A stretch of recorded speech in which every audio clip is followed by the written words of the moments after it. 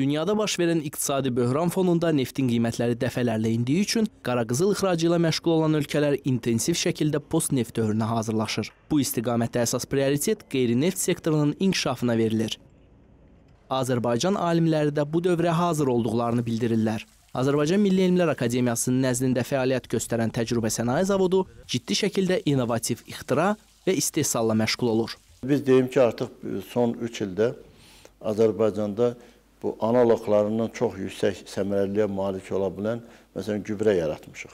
Bu gübrə eyni zamanda həm fosforu var, həm azotu var və hətta indi üçüncü komponentə kaliumu da yaratdıq ki, yəni eyni gübrənin içərisində hər üç qida elementi var. Və artıq onun təcrübə sənaye sınaqları keçirilib, çöl sınaqları keçirilib. Zavodda istehsal olunan zərərvericilərlə mübarizə vasitələri və gübrə analoqları ilə müqayisədə 50%-ədək daha çox məhsul əldə etmə imkanı yaradır. Bununla yanaşı, gübrənin tərkibində zərərli maddələr yoxdur. Bugün biz artıq respublikamız üçün gübrə istehsalını təşkil edə bilərik. Yəni çox komponentli gübrə istehsalını. Mineral gübrə olaraq və bunun ən böyük üstünlüyü ondan ibarət ki, onda nitrat azotu yoxdur. Yəni burada məhsullarda nitratın miqdarının artma ehtimalı sıfırdır. Və onun özəlliklərindən biri də ondadır ki, onu maye halda istifadə edib daha çox məhsul əldə etmək olar. Yeni nəsil gübrə ixtiralarına dair yerli və beynəlxalq patentlər əldə edən zavod beynəlxalq ISO sertifikatını almağa hazırlaşır. Zavodda ağır hərbi və kənd təsərrüfatı texnikaları üçün müxtəlif materiallar hazırlanır.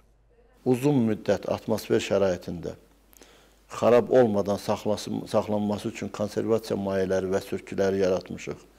Çöl sınaqları keçib, indi biz istəyirik ki, bunlar olsun. Azərbaycanda çox yüksək keyfiyyətli antifriz yaratmışıq, onun istehsalını təşkil edə bilərik. Bura Azərbaycan Milli Elmlər Akademiyasının təcrübə sənaye zavodudur. Məhz burada, bu reaktorlarda MDB-nin ən keyfiyyətli sürtkü yağları hesab edilən solidol və litol istehsal olunur.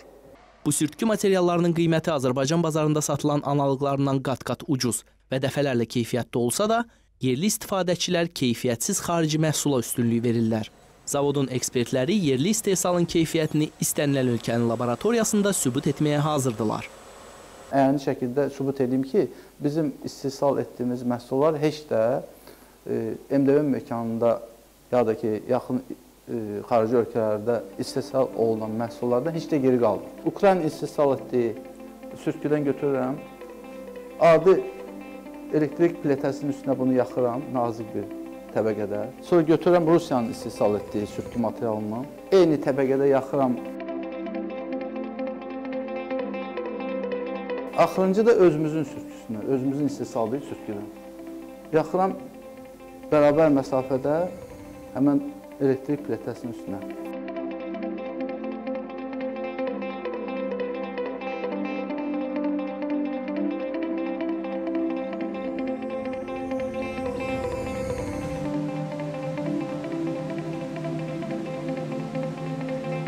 Əyani olaraq hamımız gördük ki, Ukraynanın və Rusiyanın istehsal etdiyi sürtkülər əridi, yox oldu, getdi mayeçi. Amma bizim istehsal etdiyimiz sürtkü Yumuşaldı, amma ərimədi. Fikir verirsiniz, nəsə qaldı orada. Tamamilə yeni texnologiya, yəni fərqli texnologiyadır. Özümüzün patenti var, avrasiya versiyası üzrə. Yəni bu bizim elədiyimiz sürtkü sırf bitki yağları əsasında olduğu üçün yenilikdir, bir yenilikdir. Çünki getdikcə tükənməkdə olan neft məhsullarını əvəz etmək üçün biz axtarışlardayıq, daim axtarırıq və texniki bitki yağlarından ilk dəfə olaraq biz yüksək ərimə temperaturuna malik sürtkü material almışıq. İxtiralar beynəlxalq standartlara cavab versələr də, yerli müəssisə və istifadəçilərin daha çox xarici məhsula maraq göstərməsi alimləri narahat edir. Bu isə ixtiranı istehsala çıxartmağa əngəl yaradır. Elmar Məlikov, Elman Nəbiyev, CBC